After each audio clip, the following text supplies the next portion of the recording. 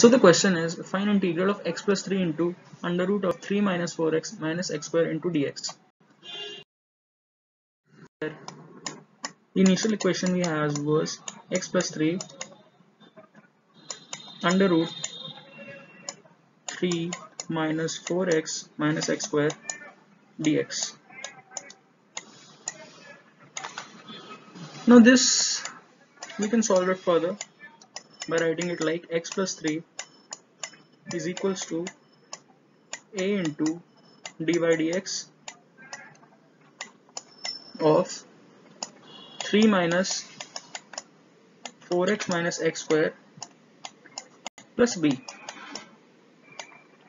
So in solving this term further, we get x plus 3 is equals to minus 4a minus 2ax plus b. So in solving this equation, we get a is equals to minus half and b is equals to 3. Therefore, x plus 3 can be written as minus half into minus 4 minus 2x plus 1 now, this was our original equation. We needed to find the integral of this. So by completing the square method, we can write as the minus 1 upon 2 integral of minus 4 minus 2x into under root of 3 minus 4x minus x square plus integral of under root 7 minus x plus 2 whole square. now here we use a formula which is under root of a square minus x square of dx is equals to x by 2 into the original term which is this value. So this value remains the same because we substituted the, its value in the above equation as t. So when we integrate it, we get this value.